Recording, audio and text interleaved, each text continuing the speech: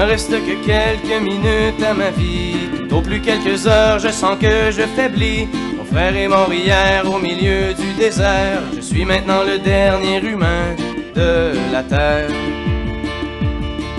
On m'a décrit jadis quand j'étais un enfant ce qu'avait l'air le monde il y a très très longtemps quand vivaient les parents de mon arrière-grand-père qu'il tombait encore de la neige en hiver. En ces temps on vivait au rythme des saisons et la fin des étés apportait la moisson. Une eau pure et limpide coulait dans les ruisseaux où venaient s'abreuver chevreuils et orignaux.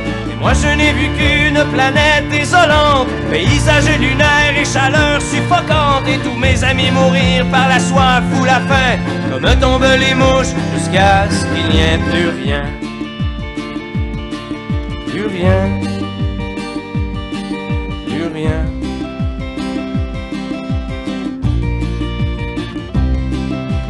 Ne reste que quelques minutes à ma vie. Au plus quelques heures, je sens que je faiblis. Mon frère est mort hier au milieu du désert. Je suis maintenant le dernier humain de la terre.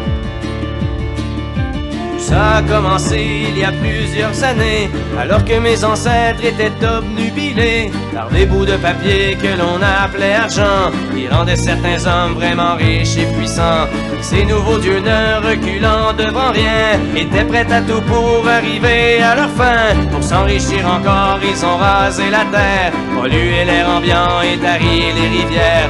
Et au bout de cent ans, des gens se sont levés et les ont avertis qu'il fallait tout stopper.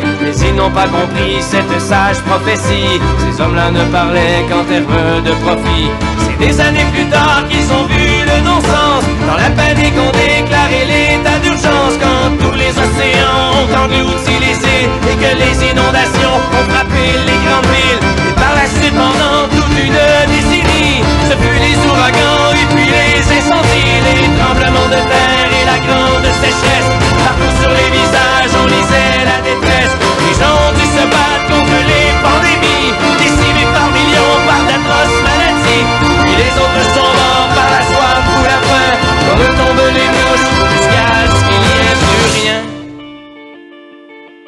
Plus rien. Plus rien.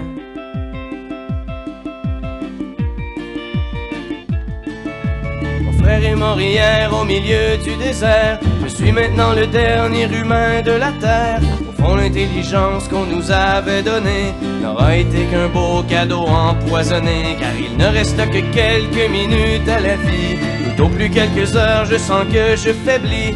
Ne peux plus marcher, j'ai peine à respirer. Adieu l'humanité, adieu l'humanité.